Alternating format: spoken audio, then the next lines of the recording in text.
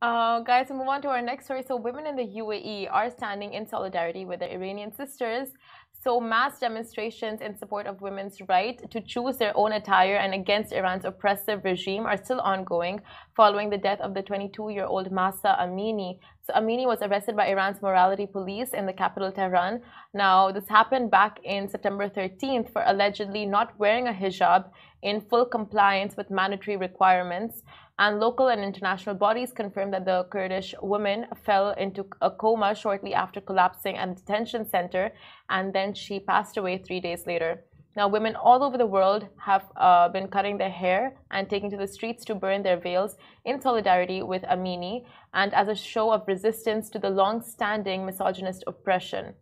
Tragically, more than 75 people have been killed as the protests intensify. And as a result, the UN Human Rights are voicing their concern over the violence and internet re uh, restrictions in Iran.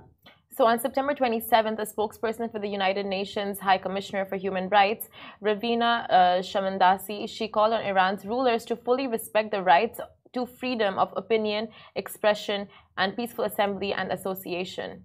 The spokesperson added that we are extremely concerned by comments by some leaders vilifying protests and by the apparent unnecessary and disproportionate use of force against these protesters. Firearms should never be used simply to disperse an assembly. So, with that being said, women all over the UAE are standing in solidarity with their Iranian sisters and calling for justice. Um, Manal Rostom, um, a Dubai resident hailing from Egypt, she wrote, What's happening in Iran is morally and Islamically unacceptable and inhumane. So she did um, put up a post on Instagram, and a post went on to read, I stand with the women of Iran. Iran is not exercising the right form of Islam, they are exercising a pure uh, form of uh, patriarchy. And the way I see it, it is a bunch of mentally ill men taking out their frustration on innocent women. This is not about culture nor religion, this is about male chauvinism in Iran. I pray for a tolerant world where the women are free to be whatever they want to do and uh, whatever they want to do with their bodies to cover it or not cover it. Uh, following that, Iranian singer and Dubai resident Leila Kardan, she wrote, I am not my hair, I am not my skin, I am the soul that lives within Mahsa Amini. And um, with all of that being said, please know that protests are illegal in the UAE. For an assembly to be legal, official permission must be taken from the government.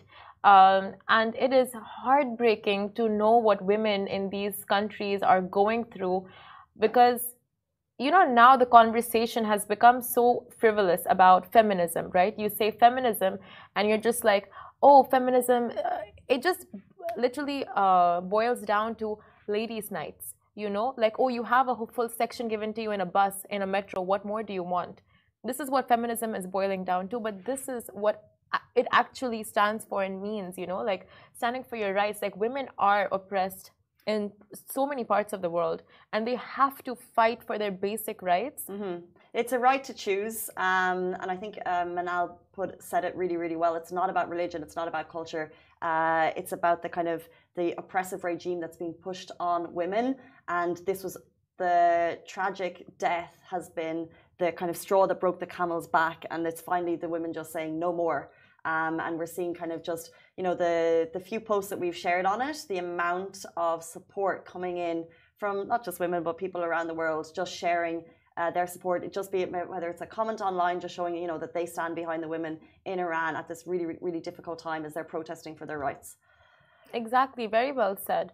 And with these women, like it, it's just such strong inspiration to see them, you know, stand up against years and years of just you know patriarchy and just rules that don't give them their freedom you know now the fact that they've said enough is enough and we will stand for what we believe is right what we want to do with ourselves what we want to do with our bodies with our attire with everything and not just there and america also with the whole uh, there's so many systems in place put in place by men that women don't agree with but why are their voices not heard you know True, and it's a it's a challenging um, government to be protesting. I guess I think uh, over the last number of years, uh, the specific protests are eventually stamped out, um, and I think the thought process of the government is if they give any bit of leeway, um, then there won't then they lose control. Lose control. So that's kind of the thought process. But this is kind of the biggest protests that they've seen, the biggest kind of outcry from the government. Um, but then you're seeing kind of other governments jump in trying to get people back their internet uh, access because obviously internet has been restricted,